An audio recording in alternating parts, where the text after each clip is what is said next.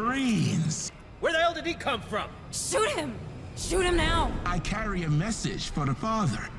Harper! Marlowe wants you to know that the father of the voice has a place amongst us. You'd better start talking now, because that red button is getting real compelling. I don't talk. I only listen. To what? Through her voice, we understand their purpose.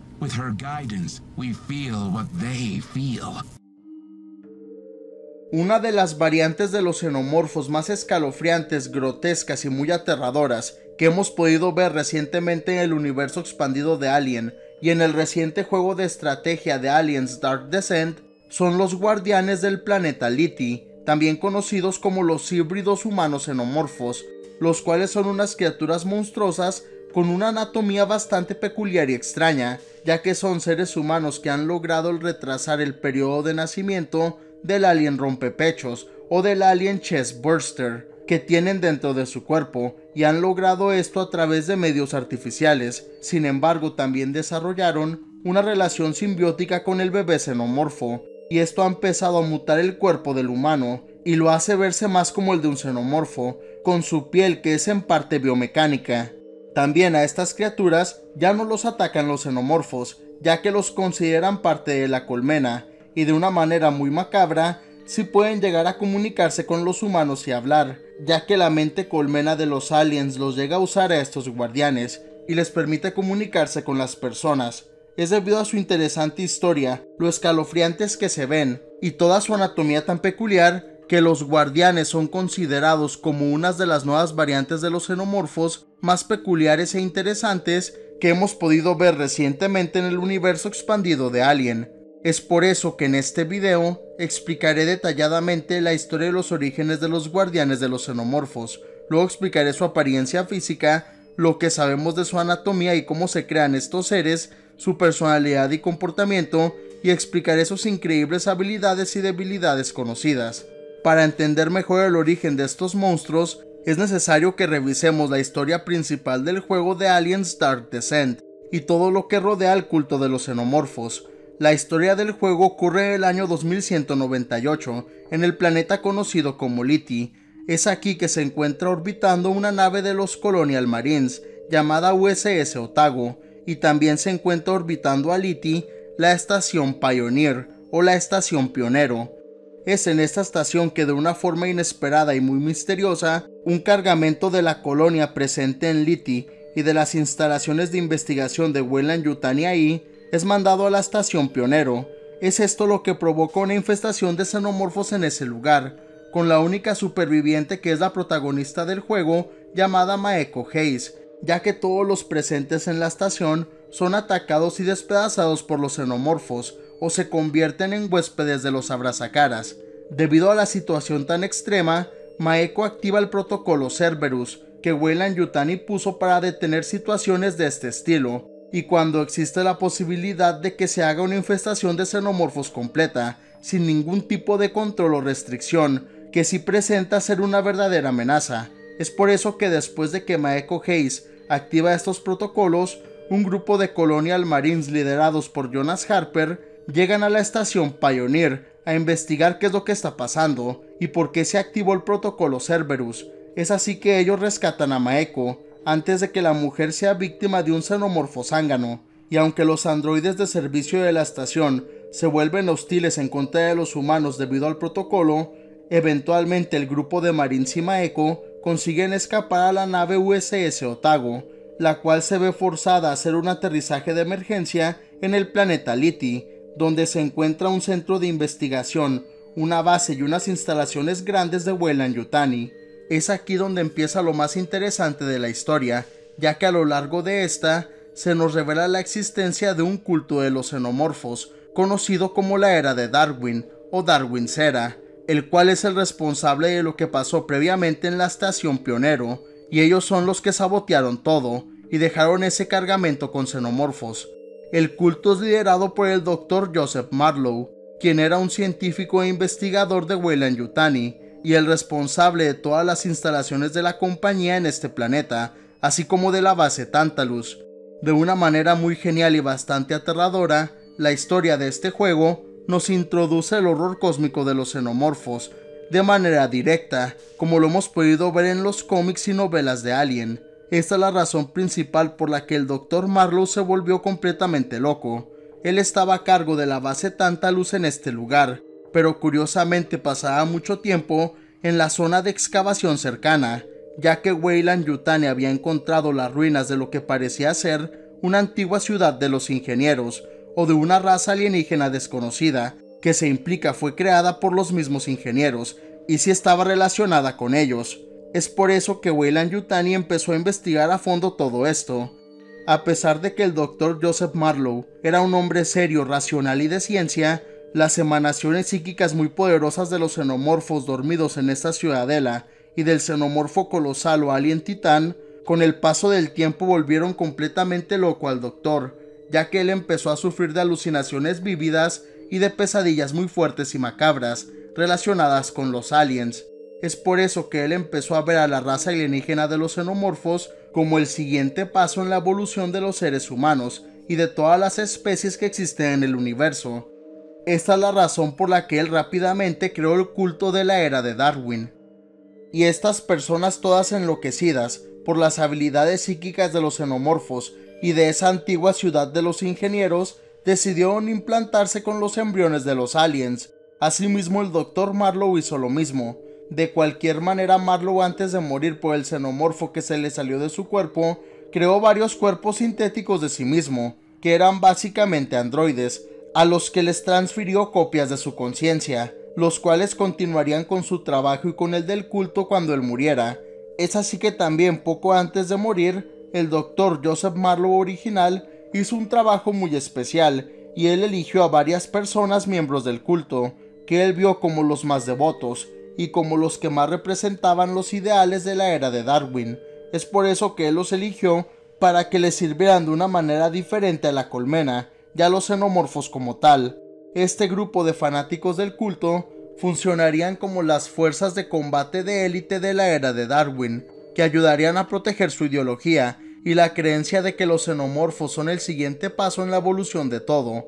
Esta es la razón por la que estas personas fueron impregnadas por abrazacaras, aunque no de forma directa y convencional, pero esto lo explicaré más adelante. Y posteriormente fueron sometidas a varias cirugías que les pusieron muchas modificaciones cibernéticas en su cuerpo. Asimismo fueron todos sometidos a un extenuante proceso de condicionamiento, que en este caso era más lavado de cerebro, para preparar a estas personas para que pudieran cumplir con todos sus objetivos de combate y de ser básicamente íconos religiosos para todos. Como parte fundamental de esta transformación, se les puso a todas estas personas un artefacto experimental conocido como embriostasis, el cual era una especie de contenedor cristalino muy grande que reemplazaba uno de los pulmones de la persona y éste le inyectaba constantemente una sustancia especial al embrión para que éste se desarrollara muy lentamente. Asimismo se les puso a todos estos elegidos una mascarilla especial que los ayudaría a respirar mejor y a sobrevivir en cualquier entorno, funcionando de cierta manera como el pulmón que perdieron. También en la espalda se les colocaron algunos tubos llenos de este líquido especial a su lado, para el embrión y para alimentar y mantener funcional al dispositivo embriostasis. Es así que nacieron los escalofriantes guardianes, que básicamente son cuerpos humanos impregnados por un xenomorfo, con muchas modificaciones de cyborg que los mantienen vivos, a pesar de que ya se ven sus cuerpos como muy deteriorados y delgados, y casi podemos verlos como una especie de zombies de los xenomorfos, aunque curiosamente sí mantienen su raciocinio, y por eso pueden usar armas y actuar como personas relativamente normales. Esta es la razón principal también por la que los guardianes pueden caminar junto a los xenomorfos sin ser dañados o sin ser lastimados de alguna manera. Asimismo, estos guardianes podían entrar sin problemas a las colmenas de los xenomorfos y a la ciudadela de los ingenieros, sin que existiera un riesgo físico para ellos, ya que de una manera increíble, pero algo esperada, la reina y los diferentes xenomorfos los ven como parte de la colmena de cierta forma, debido al alien rompepechos con el que cargaban, el cual para los xenomorfos estaba a punto de eclosionar. Los guardianes, además de ayudar y propagar los ideales y la doctrina del culto, dentro de su territorio en el planeta Liti y con las nuevas personas que llegaban a este lugar, tenían en realidad como su propósito principal el patrullar y el ayudar a defender a las colmenas de los xenomorfos de cualquier amenaza externa, que podían ser los Colonial Marines o los mismos científicos de Weyland Yutani del planeta Liti, que podían llegar a darse cuenta de la existencia de la colonia y luego querían eliminarla por el peligro que ésta podía presentar. Por eso los guardianes recibían su nombre y eran vistos por los miembros del culto como los que mantenían la paz en sus templos, que en realidad eran las colmenas de los xenomorfos. En la historia del juego, una vez que están en el planeta Liti, Maeko Hayes y Jonas Harper empiezan a juntar algunas pistas y se empiezan a dar cuenta de la relación que existe entre esas infestaciones de xenomorfos que ocurren en el planeta Liti y la que ocurrió en la estación Pioneer con la extraña y misteriosa zona de excavación y las ruinas de esa ciudad de los ingenieros. Es así que también poco a poco se dan cuenta de que el responsable del culto de la era de Darwin y de liberar a los xenomorfos es el Dr. Marlowe. Es durante todo este tiempo que Maeko y Jonas están investigando todo que de una manera inesperada y muy macabra y escalofriante, uno de los guardianes escabulle dentro de las instalaciones de Weyland Yutani y se comunica con todos los marines presentes. Aunque Maeko les dice que le disparen rápido y que maten al monstruo, el guardián les pide que esperen y comenta que no está ahí para pelear, ni ha venido como un guerrero, sino que él trae un mensaje especial para Jonas Harper, ya que él es el padre de Cassandra, una joven con poderes psíquicos únicos, que fue secuestrada por el culto, ya que el doctor Marlowe Androide se dio cuenta de que con sus poderes, la chica los ayudaría a poder convertirse a todos los del culto en uno mismo con los xenomorfos, y así podrían comunicarse de forma directa con los aliens, lo que los va a ayudar a entender mejor su propósito. Y el doctor Marlowe Androide se dio cuenta que el solo tener a Cassandra dentro de una cápsula especial en la antigua ciudad cerca del xenomorfo titán los ayuda a todos los del culto a sentir lo que los xenomorfos y lo que la colmena siente. Por eso el guardián llega y dice que es un honor el estar en la presencia de Jonas Harper, porque él es el padre de la chica que los va a ayudar a conectarse con los xenomorfos. Luego el guardián lo invita a que se una al culto con ellos. De cualquier manera, Jonas Harper se molesta mucho por lo ocurrido, y porque ahora sabe que se llevaron a su hija, y por eso Harper le pide a los Marines que se lleven al guardián a una celda de contención, a lo que de una forma inesperada el guardián acepta y se va caminando con ellos, ya que él sigue ciegamente las órdenes de no ser hostil, de parte del androide Marlowe y de parte del culto.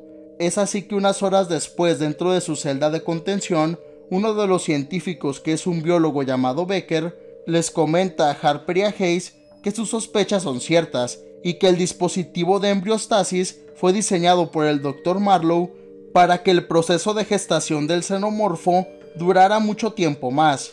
Jonas Harper dice que todo eso no le importa y luego va a interrogar al guardián. Es aquí que le pide que hable y que le diga todo lo que sabe, a lo que el guardián le contesta de una forma críptica que él no habla en realidad y que él solo escucha a la voz de la colmena, la cual le habla telepáticamente. Él les contesta todo lo que le preguntan de forma tranquila y les explica cómo es que con Cassandra conectada a la colmena, ellos pueden entenderlo todo. Por eso el guardián le dice que la chica está con Marlowe, donde empezó todo, es decir, en el lugar de excavación, y justo después de que dice esto, Jonas Harper y Maeko se van rápido a buscar a Cassandra. Es aquí que de una manera inesperada, el alien rompepechos dentro del guardián se empieza a mover de una forma desesperada. Luego él se pone muy feliz y llora de felicidad, comentando muy eufórico y con mucha emoción que por fin van a ser ahí y que es una gran bendición. Es así que el xenomorfo rompepecho se le sale al guardián y este muere, con el biólogo Becker que se queda muy sorprendido y emocionado porque por fin va a poder tener un espécimen de xenomorfo vivo, el cual él puede estudiar. Se nos revela que el doctor Becker siempre había pedido por años que le proporcionaran un espécimen de xenomorfo vivo para poder estudiarlo a detalle. Sin embargo, esto siempre se lo negaron sus superiores y el Dr. Marlowe. Es por eso que Becker ve esto como la oportunidad de su carrera, y esto justamente provoca una nueva infestación de xenomorfos en esa zona segura de Liti. Lamentablemente como Jonas Harper y Maeko Hayes van a tratar de rescatar a la hija de Harper Cassandra y descifran toda la verdad, los guardianes ya no aparecen de forma directa en la historia del videojuego, y con la destrucción de las instalaciones de la compañía de Weyland Yutani en Liti por bombas nucleares, conforme al protocolo Cerberus, es aquí donde se termina la historia hasta ahora de los guardianes de los xenomorfos, y aunque se implica que todos estos murieron, puede ser que exista la posibilidad de que algunos sobrevivieran dentro de la antigua ciudadela de los ingenieros, junto con el alien colosal o el xenomorfo titán. Y bueno, ahora que ya cubrimos a fondo todo esto, quiero hablarles sobre la apariencia física de los guardianes, cómo es que los creó precisamente el Dr. Joseph Marlowe, lo que sabemos de la personalidad y comportamiento de estas criaturas y sus increíbles habilidades y debilidades conocidas. Los guardianes cuentan con un aspecto físico único, muy escalofriante y perturbador. Los guardianes se ven como hombres humanos algo altos, delgados pero musculosos y con sus extremidades que se ven algo alargadas, con los brazos que no parecen muy proporcionales con sus piernas. Escalofriantemente el torso y la parte superior de estos seres es lo que se ve muy diferente e inhumano. Primero los antebrazos y los bíceps de los guardianes se ven algo biomecánicos en su apariencia, y esto es debido a las tremendas cirugías que sufrieron, y a que tienen algunos cables debajo de su piel. También se piensa que este cambio físico está derivado al hecho de que han cargado con el embrión de un alien por mucho tiempo, y como sabemos cuando una caras pone un embrión en el cuerpo de un humano o un organismo orgánico, este básicamente le provoca una especie de cáncer. Es por eso que aunque el embrión sea removido de forma quirúrgica, es casi imposible que la persona sobreviva.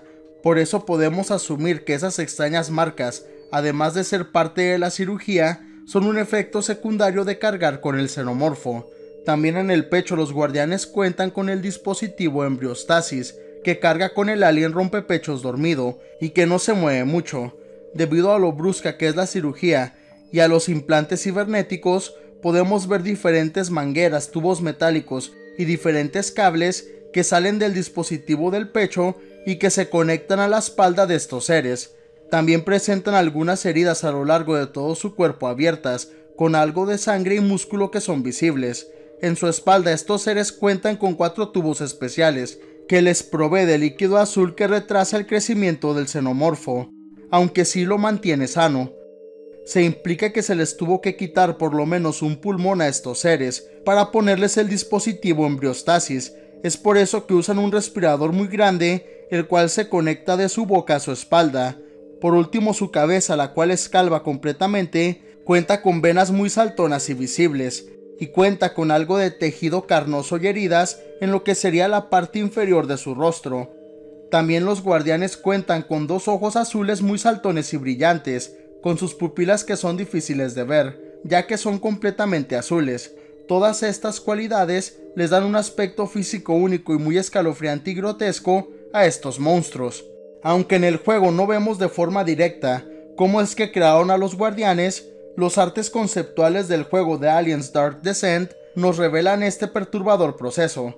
Primero a la persona elegida se le hace un lavado de cerebro, al poner a la persona en una camilla y con unas pantallas sobre sus ojos. Luego se les inyecta líquido azul, que funciona como un anestésico, y luego empieza a reemplazar la sangre del guardián, ya que es esta sustancia especial lo que atrasa el nacimiento del xenomorfo y lo que lo mantiene vivo y sano.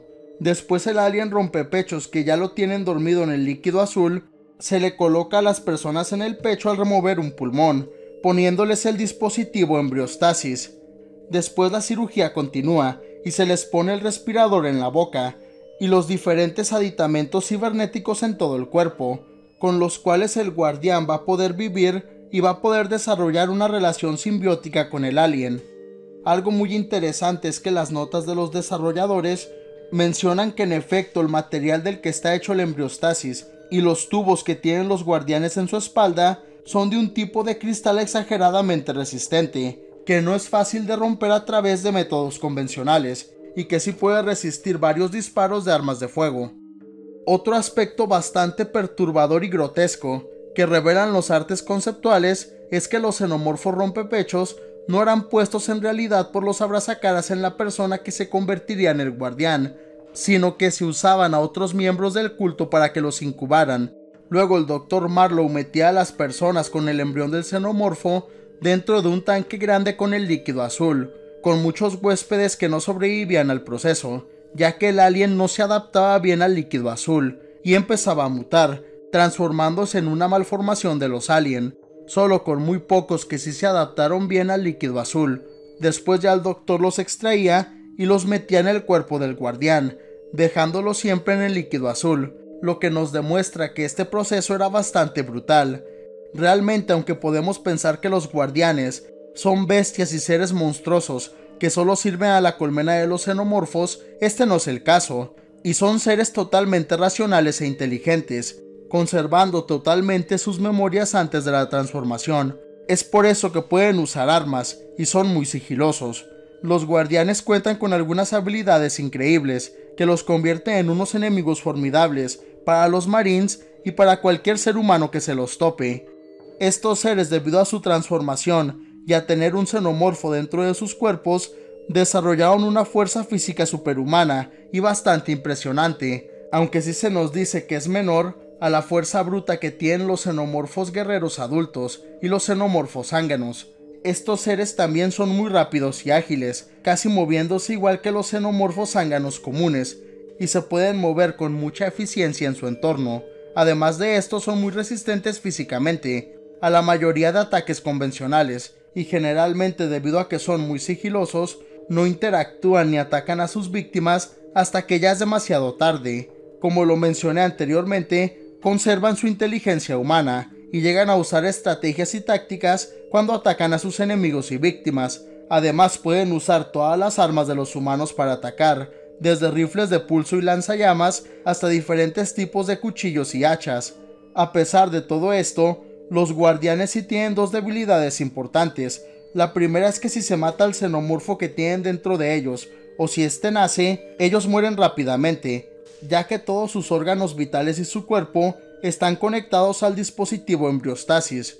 También otra debilidad que tienen es que al estar tanto tiempo conectados a la mente colmena de los xenomorfos, ellos sí llegan a enloquecer de cierta manera y pierden su individualidad de cierta forma. Es por eso que obedecen ciegamente a lo que le dicen sus líderes del culto o a lo que les ordenan los mismos xenomorfos. Y bueno, esto es todo lo que sabemos acerca de los guardianes del videojuego de estrategia de Aliens Dark Descent. Sinceramente, cuando vi a estos monstruos de los xenomorfos por primera vez, me gustaron mucho, ya que creo que se veían bastante grotescos, como una especie de zombies híbridos entre los seres humanos y los aliens. La verdad es que a pesar de que en un inicio pensé que su mitología y lore no sería tan buena e interesante, este no fue el caso, y me encantó la macabra y perturbadora historia de cómo los crearon y cómo estos eran personas que quedaron cegadas por el culto y por las emanaciones psíquicas de los xenomorfos. En lo personal su diseño me gustó también, ya que creo que sí se veían como una completa abominación inhumana, y yo los vi como la mutación de Fifield de Prometeo, pero todavía racionales y conservando vestigios de su humanidad. Lo único que no me gustó de los guardianes es que al igual que el xenomorfo colosal, es una lástima que solo salen poco en el juego de forma directa, ya que siento que sí tenían mucho potencial, que me hubiera gustado que exploraran más mostrándonos de forma directa el proceso de creación de estos monstruos y todavía más de su mitología. Y la verdad me hubiera encantado verlos en acción en contra de los Marines en alguna cinemática larga. Aún así como concepto me parecieron algo muy escalofriante y genial. Pero déjame saber tu opinión en los comentarios de abajo. Ya conocías a los guardianes de Aliens Dark Descent, conocías su historia y sus orígenes en la historia de este videojuego. ¿Qué te parecieron como concepto? ¿Te gustaría ver a estas criaturas en alguna película o a un equivalente de estos? Y por último, ¿crees que los guardianes puedan llegar a ser usados en contra de los mismos xenomorfos y la colmena? ¿O no crees que se pueda hacer eso? Comenta abajo tu respuesta a estas preguntas y tu opinión en general acerca de los híbridos humanos xenomorfo o los guardianes del entretenido videojuego de Aliens Dark Descent. Como siempre, muchas gracias por ver este video, en verdad lo aprecio. Si te gustó, de like y compártelo para apoyar al canal. Y no olvides suscribirte para no perderte ninguno de mis nuevos videos. Hasta el próximo video, este Luis de Witt, me despido.